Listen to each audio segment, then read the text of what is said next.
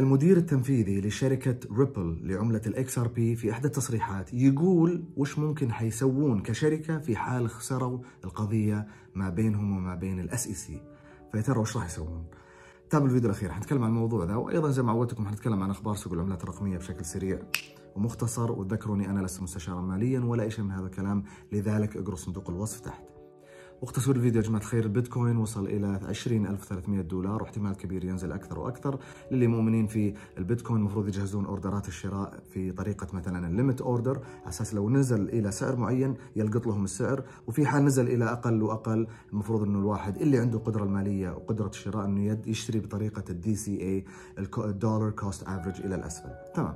خلونا ندخل في الأخبار بشكل سريع، أول خبر هو بخصوص اللعبة الشهيرة اللي موجودة على البلوك تشين اللي هي اسمها Axie Infinity اللي تعرضت إلى عمليه عملية قرصنة قبل ثلاث شهور بقيمة 622 مليون دولار، الآن تعود من جديد إلى الشبكة على شبكة ال Ronin Bridge المرتبطة بشبكة الاثيريوم. إن شاء الله أنهم هالمرة هذه ما يتعرضون للقرصنة وما تطير الدراهم حقتهم. الخبر اللي بعده بخصوص منصة Crypto.com العالمية الشهيرة المعروفة الآن تزيل عملة ال Shiba Inu وال Dogecoin من جزئية الحصول على الإيرادات عندهم في المنصة وكذلك 15 عملة رقمية أخرى عندهم.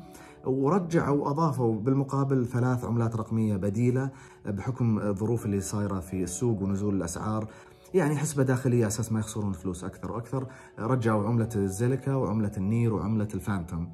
فوش في سبب معين خلاهم يشيلون ال Dogecoin وال Shiba Inu ما صرحوا بناء على الخبر اللي موجود.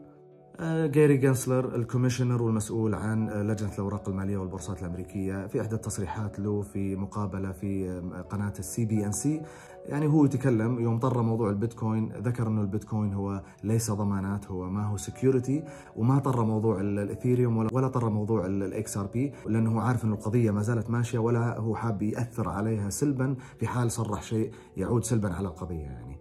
حركات التلاعب والمراوغة اللي يسويها اللي إحنا تعودنا عليها الآن مع الأسف اللي ما تخدم مجال العملات الرقميه على طاري ريبل و XRP الآن الشريك المؤسس اللي اسمه جيد ماكيلب سابقا اللي طلع من عندهم من الشركة في 2013 ولما طلع كافئوه أعطوه يعني كمية جدا كبيرة من عملة ال XRP واتفقوا معه على اتفاقية إنه لما يبيع العملات حقته على أساس يحصل على الاصول حقته والإيرادات والفوائد ما يبيعها طقة واحدة على أساس ما يأثر سلبا على سعر ال XRP فكانوا متفقين معه إنه يبيع كمية محددة كل فترة معينة. الآن بناء على الخبر يقولون إنه الكمية الأخيرة المتبقية عنده وصلت إلى 96 مليون XRP والمفروض أنه يصرفها خلال 23 إلى 27 يوم. ما ذكروا وش ممكن يصير في حال ما باعها هل ممكن يحتفظ بها إلى فترات طويلة ولا لا أو أنها ممكن تنتهي وخلاص ينتهي التعاقد آه، والملكية اللي أعطيت له بعد ما طلع من الشركة. ما ندري اكتبوا لي رأيكم تحت في التعليقات.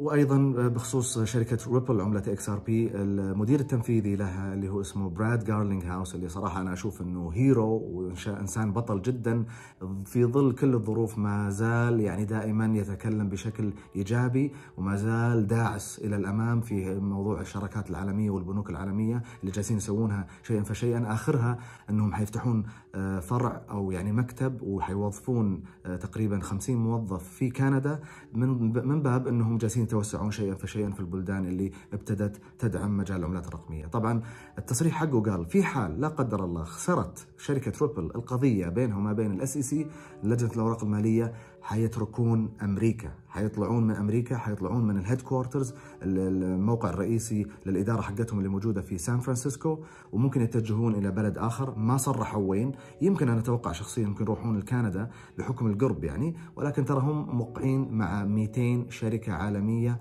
وأكثر من 200 أيضا بنك عالمي واتفاقات عالمية مع بلدان كثيرة فيقدرون هم نفسهم يختارون أي بلد يبغونه. ما عندهم أي إشكالية في الموضوع ولا حتكون لهم مشكلة كبيرة بالنسبة لهم بالعكس شيء جدا سهل وبسيط بالنسبة لهم. هذا كان فيديو يا جماعة الخير بالنسبة لليوم الله يعافيكم. لا تنسون دعم القناة بال like وال share وال subscribe وتفعيل جرس التنبيهات على أساس تجيكم فيديوهات أول بأول. أشوفكم إن شاء الله فيديوهات قريبة. سلام.